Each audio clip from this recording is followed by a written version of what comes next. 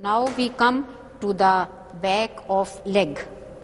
The back of leg is very muscular and it is known as the calf. It comprises of two bones, the fibula laterally and tibia medially.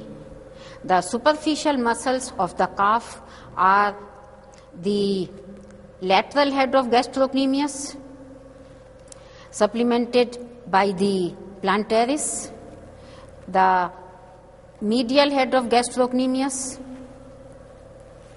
deeper muscle, the, the soleus muscle.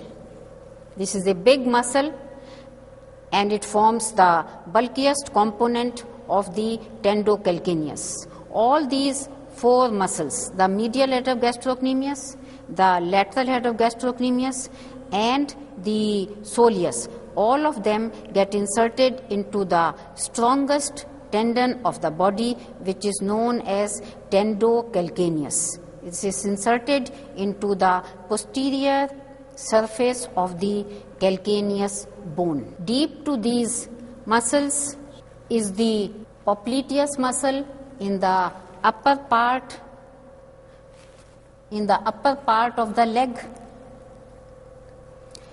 this muscle unlocks the knee joint during beginning of flexion of the knee joint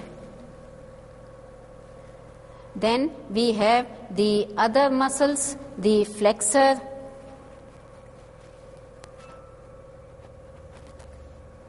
hallucis longus and flexor digitorum longus. Flexor digitorum longus is a bipennate muscle.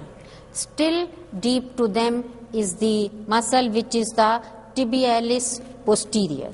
These three muscles are the deep muscles of the back of leg and all of them are supplied by the tibial nerve.